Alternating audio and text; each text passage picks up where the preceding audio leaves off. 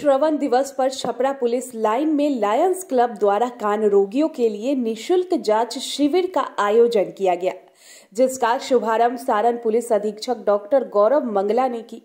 Police line में आयोजित जाँच शिविर में 100 से अधिक पुलिस कर्मियों की जाँच की गई। वहीं इस एसपी ने इस कार्यक्रम की सराहना की। वहीं चिकित्सक लायंस शशिकांत परासर ने बताया कि कान की समस्या को नजरअंदाज नहीं करना चाहिए।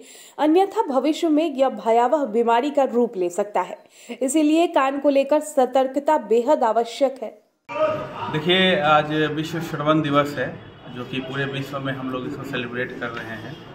उसी के उपलक्ष्य में हम लोगों ने प्लान किया कि क्यों ना इस बार हम लोग अपने पुलिसमैन और उनके परिवार के लोगों के लिए किया जाए, क्योंकि तो ये लोग निस्वार्थ भाव से हमेशा हम लोगों के लिए और आमजनों के लिए खड़े रहते हैं, तत्पर रहते हैं। तो इसलिए हम लोगों ने अपने पुलिस अधीक्षक महोदय डॉक्टर गौरव मंगला सर से मुलाकात किया और उनकी अनुमति मिली।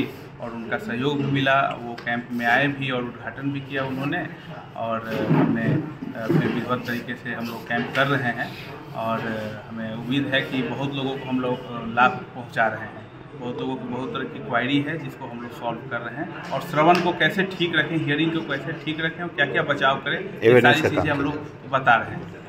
लायंस क्लब की तरफ़ से डॉक्टर साहब की तरफ़ से जो आयोजन किया जा रहा है पुलिसकर्मियों के हित के लिए उनको एक awareness session hearing and speech disorders के बारे में और जो हमारे इस प्रकार के हमारे पुलिसकर्मियों के परिवार में जो इस प्रकार की समस्याओं से जूझ रहे व्यक्ति हैं, उनके लिए ये कार्यशाला आयोजित की गई है। इसके लिए मैं लायंस क्लब का बहुत आभारी हूँ और ये काफ़ी निगलेक्टेड प्रॉब्लम है। बहुत बार लोग उसको ध्यान नहीं दे पाते हैं। पुलिसकर्मी खासकर ट्रैफ़िक ड्यूटीज़ में रहते हैं हैवी नॉइज़ के बीच में रहते हैं तो उनमें इसके इंसिडेंट ज़्यादा हो सकते हैं।